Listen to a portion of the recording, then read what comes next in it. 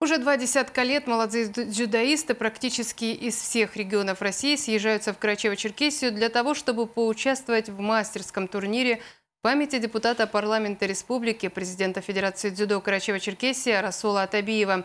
Этот год не стал исключением. На этот раз более 140 спортсменов собрал дворец спорта юбилейный в Черкеске. Алла Качиева. Подробнее.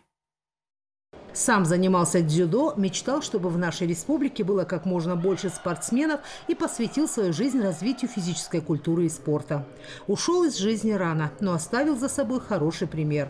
Уже 20 лет в Карачево-Черкесии проводится мастерский турнир памяти депутата Народного собрания республики, мастера спорта СССР по дзюдо Арасула Атабиева.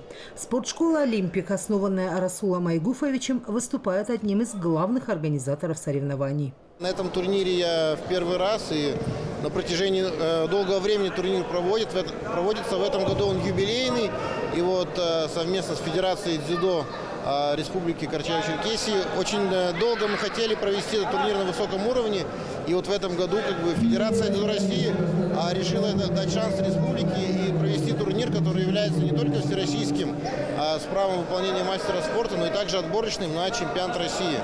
А, поэтому это очень такое престижное мероприятие и а, надеюсь, что в будущем а, у местной федерации будет также стимулы проводить его на таком же уровне.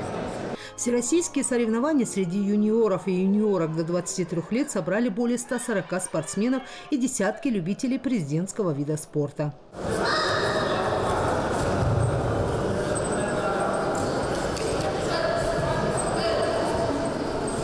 Броски, болевые приемы, удержание, удушение как в стойке, так и в портере.